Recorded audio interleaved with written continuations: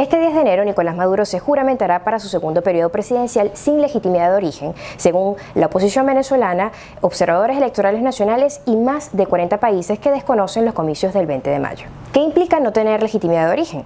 Para un sector importante de, la sociedad venezolana, Nicolás Maduro no es un presidente electo y por lo tanto la Asamblea Nacional advierte que a partir del 11 de enero usurpará funciones.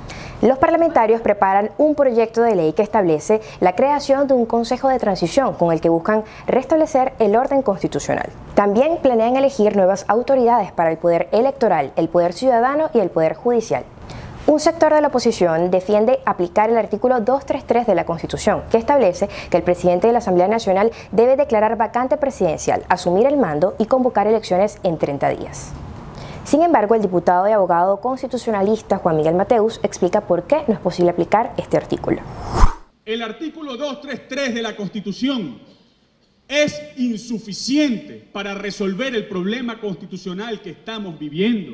Si nosotros hoy designáramos como presidente de la República al presidente de la Asamblea Nacional, no tendríamos poder de imperio para hacer ejecutar en el terreno de la realidad la decisión de esta Asamblea Nacional de acuerdo con el artículo 233 de la Constitución.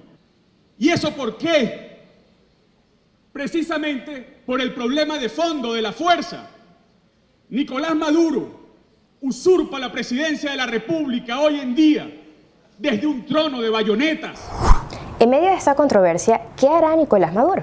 El mandatario ha manifestado que llueva, truene o relampaguee se juramentará y amenazó con dar un trato recíproco a los países que desconozcan su mandato. Está planteado que Maduro se juramente ante el Tribunal Supremo de Justicia y no ante la Asamblea Nacional como establece la Constitución porque argumenta que el Parlamento no ha salido del desacato. Es la primera vez que en la historia contemporánea de Venezuela este escenario se presenta.